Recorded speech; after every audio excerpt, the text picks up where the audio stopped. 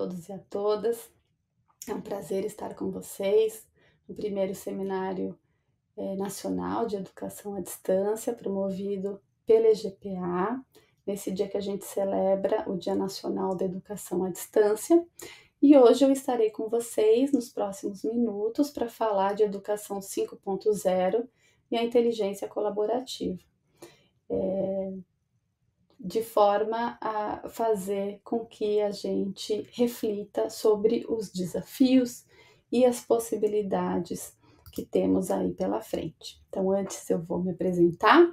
Eu sou a Karen Sapienza, pesquisadora, educadora, facilitadora, doutoranda e mestre em tecnologias da inteligência e design digital pela PUC São Paulo. E é, eu vou compartilhar com vocês um pouco do que eu venho pesquisando é, em termos de complexidade, colaboração, aprendizagem, ambientes digitais, futuro do trabalho, para essa conversa que eu inicio agora a partir de uma pergunta. Como você observa as mudanças do mundo e o que pensa, sente e faz? É, são muitas perguntas dentro de uma só, mas que fazem com que a gente possa exercitar o nosso pensar. É, o pensamento é o que vai nos despertar para um outro tipo de relação com o mundo, com o conhecimento, com a educação que a gente quer para esse futuro que já começou, que já é agora, né? Será que a gente quer ser protagonista ou simplesmente sofrer as mudanças do mundo? É, a gente está vivendo tempos de mudanças exponenciais é, né, e, e, parar para pensar no, no, que está acontecendo é muito importante, né, visto que é, o grande motor das transformações que a gente vem vivendo, elas estão na, é, na, na, tecnologia, né, as, é, as transformações elas vêm acontecendo por meio da tecnologia.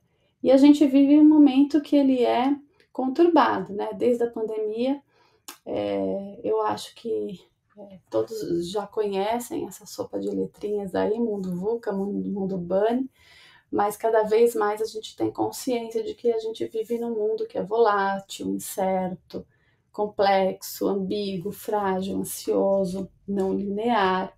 E a certeza que a gente tem é que é preciso estar preparado, né? Estarmos preparados para enfrentar essas situações é, que vão requerer cada vez mais da gente flexibilidade, resiliência, coragem, interdisciplinaridade. É... E aí eu trago, né, como que a gente vai chegar nesse momento atual é, da sociedade 5.0, que inclusive está aqui é, conectada com o tema é, dessa, dessa sessão, que é a educação 5.0. Então, começo traçando aqui uma linha do tempo das revoluções da humanidade, desde lá da sociedade 1.0, de caça e coleta, até a gente chegar aqui, né, depois das, é, da, da, da, revolução agrária e depois passando pelas revoluções industriais, né, com mecanização, produção em massa, automatização, onde a gente chega numa era da sociedade é, 4.0 é, de informação, né, que com a invenção dos computadores as informações começaram a ser disseminadas em nível global, e a gente está agora nesse momento da sociedade 5.0, da imaginação, aquela que a gente imagina cidades inteligentes, com inovação social e econômica, é, e que acabaram, né, essa sociedade acabou recebendo o nome de 5.0 ou sociedade super inteligente a partir da proposta feita pelo Plano Básico de Ciência e Tecnologia do Japão, que foi lançado em 2016 e almeja utilizar os avanços tecnológicos recentes em prol do bem-estar da sociedade no planeta. Né? E aí a gente alcançaria a quarta revolução tecnológica, agora no século XXI, que tem a ver com sistemas cyberfísicos, mas para a solução de problemas e criação de valor para a sociedade. E como que fa faria isso, né? Como que fará isso? Através de uma sociedade diversa, que possa exercer as suas habilidades, que possa ter oportunidades em qualquer lugar, em qualquer momento, né? Que possam viver em segurança, né? Perseguir os desafios em segurança de forma sustentável, em harmonia com a natureza. É isso que a gente imagina na sociedade 5.0. E o que a educação 5.0 tem a ver com a sociedade 5.0? Então, mais do que desenvolver tecnologias para aumentar a produtividade né, e a geração de lucro, essas evoluções tecnológicas elas precisam buscar melhorar a vida das pessoas, né, facilitando as questões do dia a dia para minimizar os impactos ambientais além de fazer com que o uso dos dados que têm sido gerados, coletados, né, analisados, eles sejam convertidos em informações significativas para aplicação no mundo real, né, pensando em trazer soluções que sejam diferenciadas, né, inovativas é, para uh, os problemas que a gente vivencia hoje. E nessa vertente, a educação 5.0, ela tem o objetivo de formar né, jovens estudantes para encontrar soluções aos problemas sociais por meio da tecnologia. E nesse sentido, a educação 5.0 ela passa a ser um complemento é, ao que propõe a 4.0.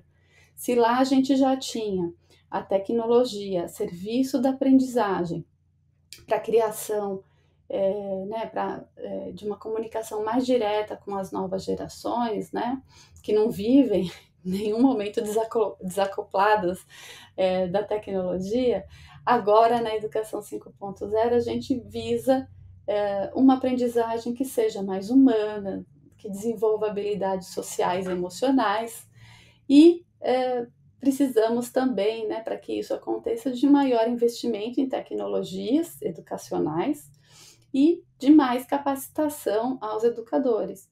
Eu acho que esse é um momento aqui crucial, é, aonde a gente está no momento de capacitação. Então esse evento ele vem aqui para fomentar o que a gente quer para a educação do futuro, né? Então onde que a gente está agora? É, uh, pedi para o Google trazer uma sala de aula do século 21 e aí eu recebi aqui essa imagem onde é, os cadernos e as apostilas foram substituídos aqui por dispositivos móveis, computadores, mas eu creio que não é sobre isso, né? Não é exatamente só sobre trazer artefatos tecnológicos para dentro da sala de aula. A gente está falando numa educação, num conceito, o conceito de educação que a gente quer, né? É, é uma abordagem inovadora nesse processo de aprendizagem, aonde né, nós possamos, enquanto educadores, nos adaptar aos estilos de aprendizagem, né, engajar os alunos na sua própria aprendizagem, é, e claro, né, com, com um conteúdo que seja voltado para uma educação do mundo real, dentro do contexto desse aluno. Isso que é mais importante. Então, quer dizer, não importa é, o lugar que eu tô, se eu tô no sul, no norte do país, o importante é que a educação ela faça sentido, né? Ela seja significativa para o estudante. É, brinquei aqui com a inteligência artificial chamada Night Café, perguntando como seria uma sala de aula do século 21 e eu acabei sendo aqui trazida a essas imagens, né? Primeiro a uma sala de aula vazia, depois a uma sala de aula num ambiente futurista e depois uma sala aonde a interação não seria com o professor, mas sim com um robô. Será que é isso que a gente imagina de educação para o século XXI? É, a gente tem aqui, né, eu vou apresentar uma série de relatórios e iniciativas mundiais é, pensando na questão da educação. A primeira delas é a COP, né, que é a sigla em inglês para Conferência das Partes, é o nome oficial dos órgãos responsáveis pelos tratados internacionais no âmbito da, da ONU. No ano passado, os objetivos eles estavam voltados para a mitigação do aquecimento global, é, proteção das comunidades vulneráveis, é, os países mais ricos né, financiando os países em desenvolvimento e a questão da colaboração e participação inclusive e ativa de todos os envolvidos no processo. Então, estamos aqui há uma semana, menos de uma semana da COP28, que vai acontecer em Dubai, mas também há um, é, há um ano né, de, a, da COP30 que vai acontecer no Pará. Então, precisamos voltar as nossas vistas aqui é, para o que vai acontecer é, na, na próxima COP, trazendo os objetivos aqui do Brasil. Também, olhando para o Fórum Econômico Mundial, a gente vê que existe uma. É, é, intenção né, de se trazer aqui a questão da transformação digital é, combinada com a criatividade para solucionar problemas né, e criar valor, assim como a gente falou na sociedade 5.0, mas precisamos pensar em estratégias de aprendizagem, recursos tecnológicos, competências interpessoais, intrapessoais e desenvolvimento de pensamento crítico para a resolução desses problemas, né? E como que a gente pode preparar os estudantes para essa quarta revolução industrial? Esse relatório aqui do Fórum Econômico Mundial, é, Escolas do Futuro, definindo novos modelos de educação para essa quarta revolução, traz aqui algumas informações importantes. Primeira, que são apenas 16 escolas é, no mundo que possuem características críticas nos conteúdos e experiências de aprendizagem.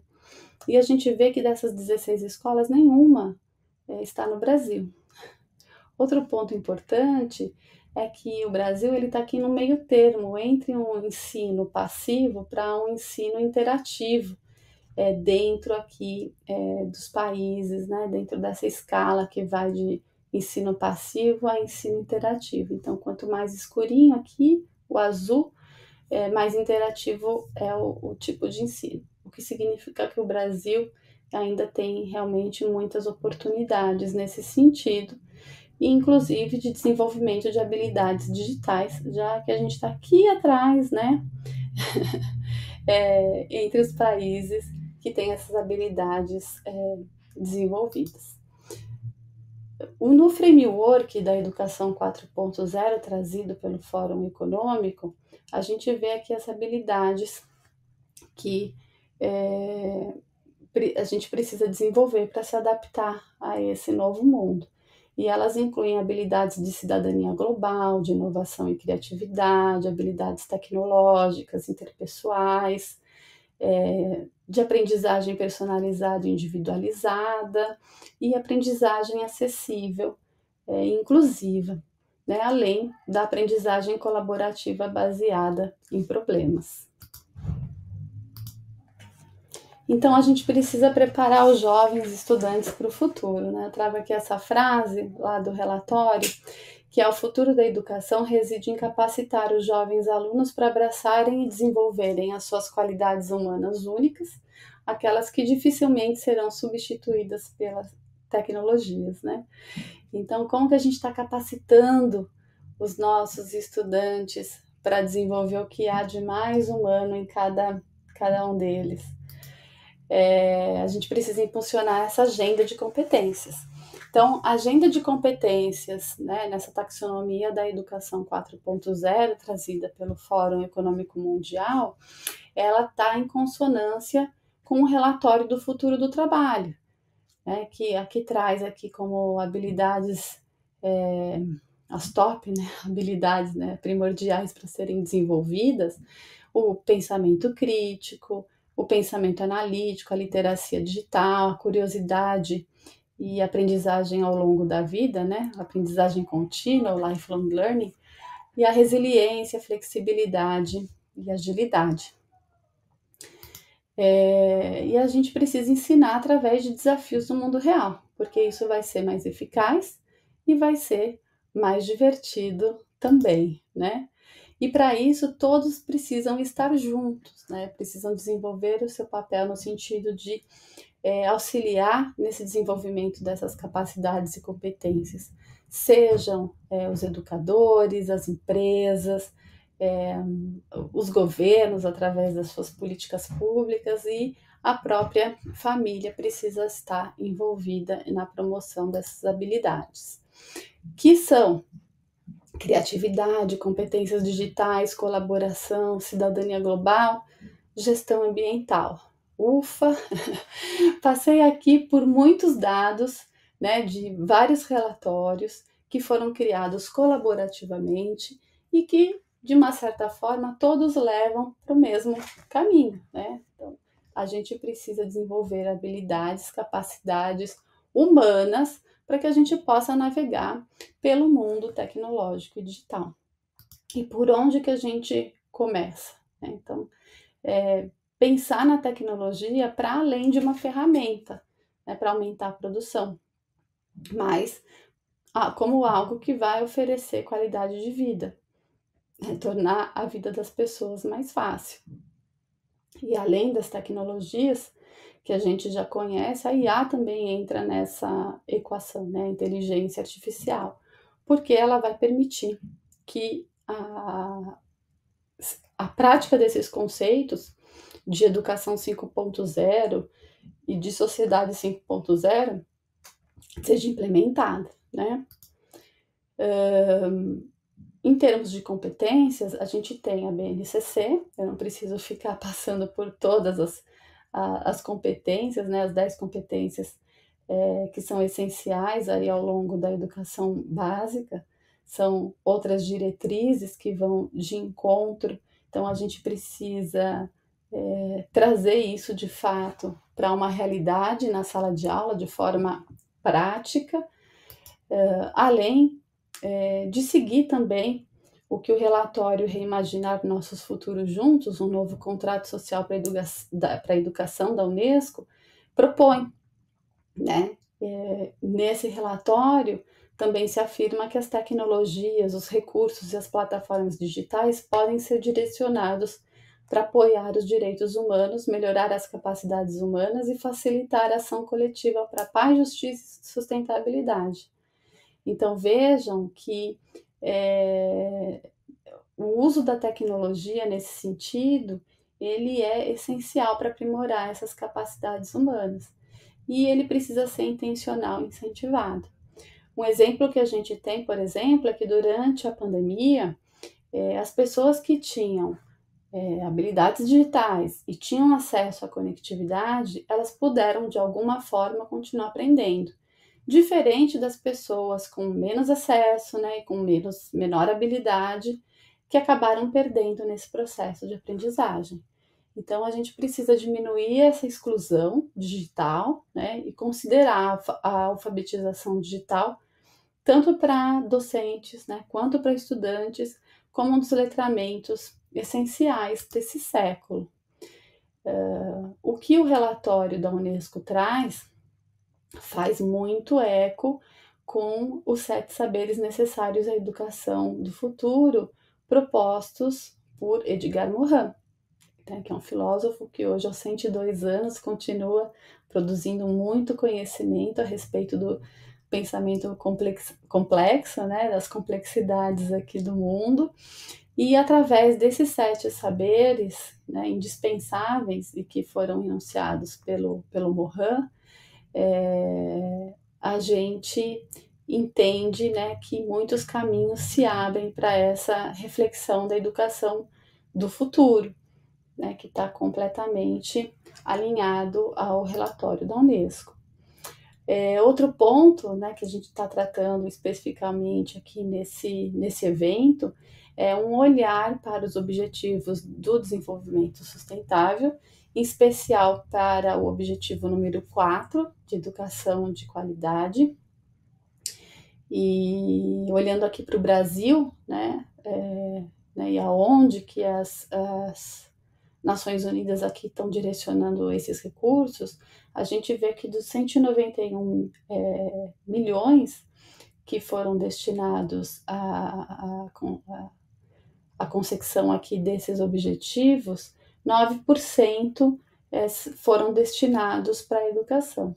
Né? Então, o que, que tem sido feito para aumentar essa educação de qualidade no que diz respeito a aumentar a inclusão, aumentar a qualidade, né?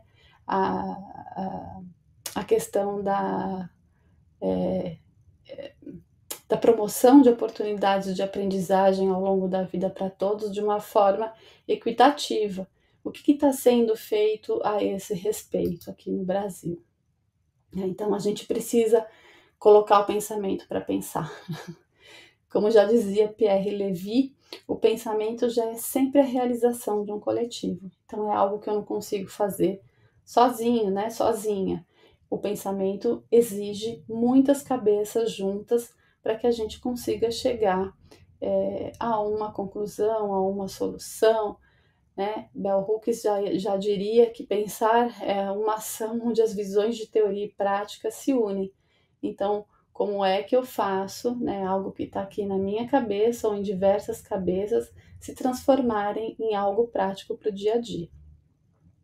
Morin ele já dizia que, enquanto habilidade cognitiva, o pensamento seria o capital mais precioso para o indivíduo e para a sociedade, pois exercita a dúvida, possibilita a argumentação e a discussão, articula as atividades mentais e deveria ser pensado em prol do desenvolvimento da inteligência geral. Então, será que a gente está colocando os nossos estudantes para exercitar o pensamento? Será que estamos pensando junto com os nossos estudantes é, para poder exercitar? Né? Ou estamos só fazendo uma transmissão dos conteúdos? Esse é um ponto importante e que eu trago aqui também é, a questão da tecnologia nesse processo, né, de nos ajudar a, a, a, a fomentar esse, esse pensamento né, não só através das tecnologias da informação e comunicação, as TICs, mas agora também, como eu já falei, através da inteligência artificial. A gente tem aí o GPT, que acabou impulsionando esse olhar para a inteligência artificial, mas uh, o importante é a gente poder ressignificar a forma como a gente se relaciona com o conhecimento hoje em dia, né? Então, para que esses desafios dessa era é, planetária, né, com as suas incertezas, os seus eventos é, inesperados, é, eles possam agora é, serem ressignificados através de uma nova forma de, de comunicação e com o auxílio das tecnologias digitais, né? Só que a gente tem aqui algumas questões. Então, estou trazendo aqui esse relatório do NIC.br, é, que trata é, uh, os motivos para que os alunos não acessem a internet na escola. E é interessante notar que a gente tem aqui 64% dos professores, eles não utilizam a internet em atividades com os alunos. Ou aqui 61% dos casos a escola proíbe o uso do telefone celular. E assim a gente vai encontrando outros motivos que acabam impedindo, impedindo com que é, as tecnologias elas entrem dentro do processo educacional, né? Seja porque a escola proibiu acesso, ou porque não tem sinal, ou porque falta computador, enfim, como que a gente mergulha de fato nesse contexto digital se a gente ainda esbarra com uma série de desafios como esses, né? É, de infraestrutura ou mesmo de mindset, no sentido de usar a tecnologia a favor de uma educação de qualidade. Né? E aí o conhecimento ele está comportado dentro da, de uma competência, né? Que a, a competência ela comporta é o conhecimento, que é o saber o que fazer, a atitude, querer fazer, e a habilidade, saber como fazer. Né? Mohan já dizia que o, o conhecimento, então, dentro dele, eu preciso ter a competência, a atividade cognitiva e o saber, é, então, é, a gente vê que as coisas aqui confluem no sentido de que eu preciso ter vontade, eu preciso saber como é, é colocar um conhecimento em ação, né, para que as coisas realmente aconteçam. Então, o que, que a gente precisa desenvolver? A gente precisa desenvolver nesse ponto o letramento digital, informacional, educação midiática, pensamento crítico, analítico e criativo, habilidades socioemocionais, aprendizagem colaborativa, e eu vou passar um pouquinho por cada um deles. É, só que a gente tem que olhar aqui profundamente para as necessidades e desejos dos nossos estudantes, né? Se eu olhar o meu público enquanto educador, que é composto aí por, pelas gerações Z e Alfa na sua maioria, a gente vê que muitos interesses eles estão aí totalmente conectados com as necessidades humanas básicas de hoje, né? Desse mundo digital, que é ter pelo menos bateria no celular e Wi-Fi disponível antes das, antes das outras aí necessidades.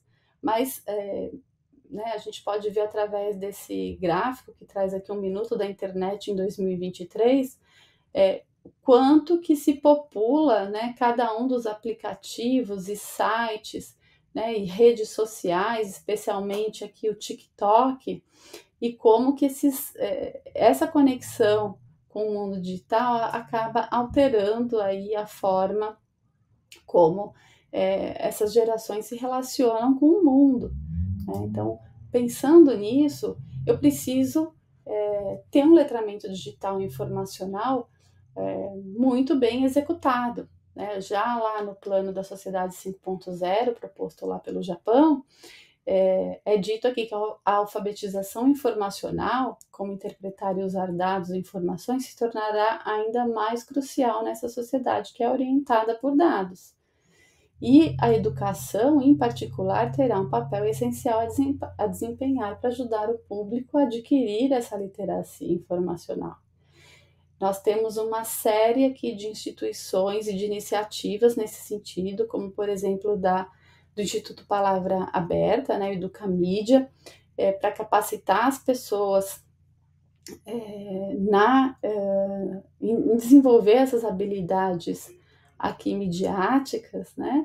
É, tem também aqui um livro que é, foi escrito pelo Alexandre Sayad falando da inteligência artificial e pensamento crítico, enfim. Então tem uma série de iniciativas. Eu acabei trazendo essa porque me tornei uma multiplicadora aqui do Instituto Palavra Aberta, né, de Educamídia, em fomentar essa cultura digital. Tive um, é, um projeto que acabou sendo selecionado na minha formatura de 2021, e isso tudo através de um ecossistema educacional. É, a gente tem aqui esse campo da educomunicação como uma área né, é, de conhecimento que envolve as pessoas para essa questão é, é, aonde a, a gente está inserido, né, pensando numa perspectiva aqui é, dialógica, então, como que eu trago aqui uma série de, uma, de recursos para poder fomentar esse diálogo dentro da sala, né? Então, através de uma língua que realmente alcance os meus estudantes. É, a própria é, é, é que a própria Educamídia traz aqui as habilidades para essa educação midiática e entre elas a gente encontra o letramento da informação e a fluência digital né, entre outras. A gente também precisa exercitar o pensamento crítico, analítico e criativo dentro da sala. É, o Chomsky ele já trouxe aqui é, uma questão é, com relação, inclusive, ao chat GPT, é, é, de que eles são simuladores poderosos da inteligência, mas também são o oposto da inteligência no sentido de que é, a inteligência ela tem a ver com aprendizado e com uma reflexão. Né? Então, como que a gente desenvolve a, a reflexão? Né? Como que a gente desenvolve a inteligência humana? Então, precisamos pensar, né? expressar coisas improváveis com perspicácia linguística, inclusive com pressupostos na ciência, mas também críticas criativas dotadas de princípios éticos e morais que é algo, né, que é essa capacidade de, análise, de análise né, analítica e de criatividade e o pensamento crítico são coisas que realmente a inteligência artificial não vai fazer por nós, né? Tem a questão das habilidades socioemocionais também que precisam ser desenvolvidas. É, na BNCC, Essas competências socioemocionais, elas estão presentes em todas as 10 competências gerais, é, como a gente pode ver. E é, eu trago aqui esse, esse logo aqui do CACEL, que é a organização internacional que é uma das principais autoridades né, no que diz respeito à aprendizagem socioemocional. É, então, nesse sentido, se coloca aqui que a aprendizagem socioemocional ela desenvolve as, os conhecimentos, as atitudes e as habilidades necessárias para compreender e gerir as emoções, estabelecer e alcançar os objetivos positivos, é, senta, é, sentir e demonstrar empatia pelos outros, estabelecer e manter relacionamentos e tomar decisões responsáveis. É, outro ponto aqui importante é a aprendizagem colaborativa, que eu trago aqui para amarrar tudo que a gente falou, porque tudo que a gente falou tem a ver com colaboração, né? qualquer aprendizagem, é, qualquer é, diálogo dentro de sala, é, qualquer iniciativa, ela precisa ser feita através da aprendizagem colaborativa. Né? Por si só, a gente sabe que a, a colaboração, ela, né, como aqui diz aqui nessa frase, do livro Educação Digital Aberta e à Distância, a colaboração deve projetar os aprendizes em uma experiência compartilhada para os propósitos de construção e confirmação de significado. Perceber entendimento e criar conhecimento é um processo de colaboração. A diferença entre colaboração e a mera troca de informações é a diferença entre estar profundamente envolvido em uma conversa e lecionando para um grupo. As palavras são diferentes, o tom é diferente, a atitude é diferente, as ferramentas são difer diferentes. Então eu trago aqui esse livro porque eu acabei traduzindo um capítulo dele, que é o Novas Teorias para Espaços Digitais de Aprendizagem. Esse livro que é uma versão em português e teve 13 capítulos selecionados pelo é, professor João Matar, uh, envolvendo né, teorias, tecnologias, competências, educação híbrida. Ele foi lançado agora no CIAED, é, o Congresso Internacional da ABED, de Educação à Distância, e está disponível é, para que vocês possam ter acesso aqui a uma, diver, uma diversidade de temas bastante interessantes. Uh, o, o, que eu, o que eu trago aqui é que, assim, apesar de uma série de ferramentas que a gente tem para fomentar essa aprendizagem, para que a gente possa usar em sala de aula, é, no sentido de fazer o aprender colaborativo, né, além do uso de metodologias ativas que fazem impulsionar essas competências, é, temos muitos recursos ainda, né? Levi ainda ele diz que a nova literacia ou alfabetização digital é a disciplina intelectual que se relaciona com a conexão com dados e as novas formas de colaboração no meio algorítmico. Então, quer dizer, tudo que foi trazido aqui, de uma forma ou de outra, está completamente conectado. É, e a gente só vai chegar a um resultado de aprendizagem importante através da colaboração. Então, é para a gente refletir, né? Como que é a sala de aula ideal, né, que a gente almeja, como que eu vou usar as tecnologias adequadas para o meu contexto local, né? Será que essa tecnologia ela está excluindo alguns estudantes, né? Será que é escalável? Será que é um projeto de longo prazo e os objetivos são sustentáveis, né? E qual que é a principal contribuição que eu posso e quero dar ao mundo a partir dos meus fazeres nessa nova era planetária que se apresenta? Vocês percebam que eu não trouxe aqui nenhuma resposta pronta. Eu vim aqui ajudar é, a gente a poder construir essas respostas juntas, né? O fato é que, pela, por natureza, a aprendizagem ela é colaborativa e ela só se dá através de, de redes de interação mútuas e complexas, assim como essa, e dependem de um movimento evolutivo. Então, outra pergunta que se coloca aqui para a gente fechar é o que estamos fazendo para mobilizar essa inteligência colaborativa nessa sociedade super inteligente. Eu trouxe também aqui um vídeo para poder fechar é, mas que eu vou também disponibilizar o link para vocês, que eu acho ele especialmente muito bonito, porque foi uma iniciativa é, que buscou reunir, isso foi em 2018, pessoas que nunca se encontraram antes é, para cantar numa cidade é, em Haifa, né, em três idiomas. E isso levou menos de uma hora para acontecer, para as pessoas aprenderem todas as partes e, e, terem o resultado que teve. Lembrando que Haifa é a maior cidade do norte de Israel, né? É, e, e, tem uma população aqui que é mista, né, com árabes, judeus, enfim, e elas dão aqui, né, essa convivência é um exemplo de coexistência pacífica no lugar. Então, acho que nesse momento que a gente vem vivendo, é importante trazer uma mensagem aqui de paz e colaboração para a gente finalizar essa sessão. Eu agradeço imensamente a atenção de vocês. Espero que a gente possa seguir juntos, é, porque com certeza juntos a gente vai ainda mais longe. Muito obrigada. Um abraço.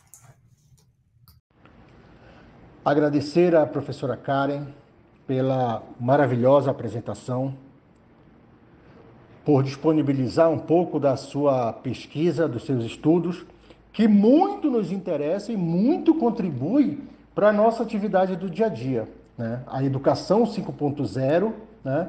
e essa aprendizagem colaborativa.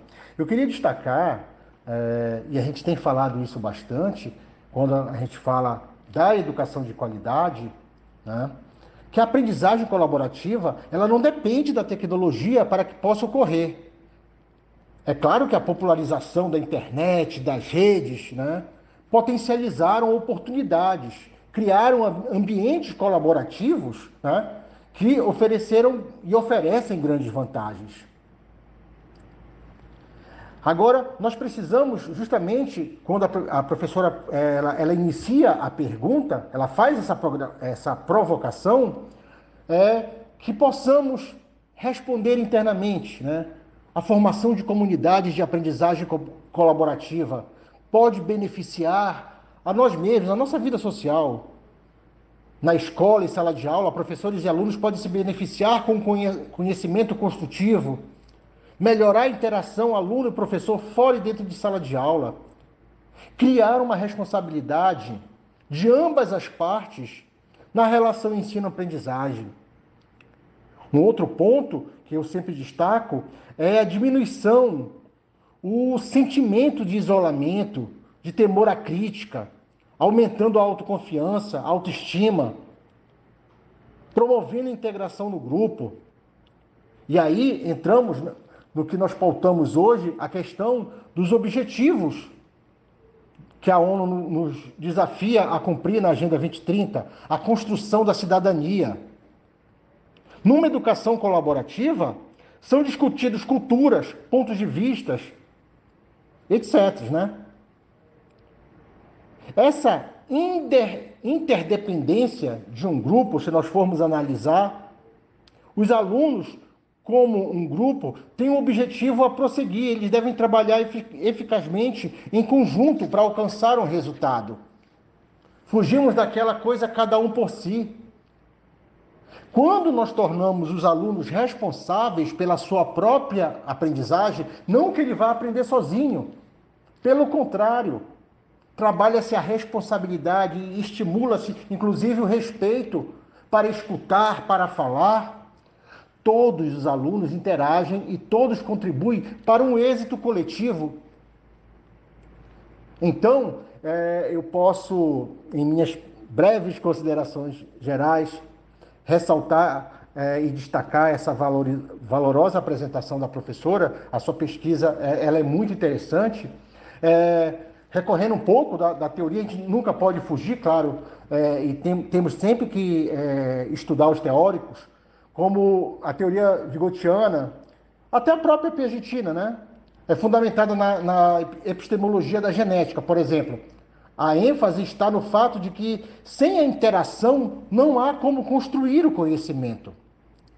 Uma postura autônoma que leva o grupo a construir regras próprias para as ações mais eficientes, visando atingir objetivos, libertando assim o grupo daquele modelo hierárquico tradicional, mas reforçando a importância, a validade de um resultado que é produto de uma aprendizagem colaborativa.